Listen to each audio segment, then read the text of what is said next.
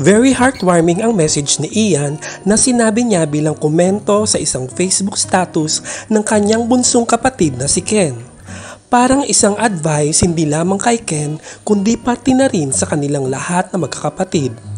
Ang totoo, nakakaiyak ang mensaheng ito ni Ian at for sure ay maraming nakaka-relate.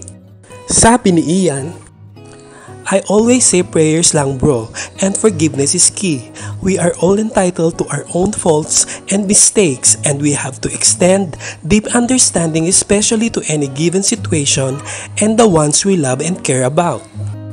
This too shall pass. Let not anger and misunderstanding rule our emotions and thoughts. Rather, imagine what our brother Jesus would do in this situation. That is His guidance for all of us. Love you all my dear series. Ibora na lang natin to. Mapalad si Ken at may kuya Ian siya na mahal na mahal silang magkakapatid.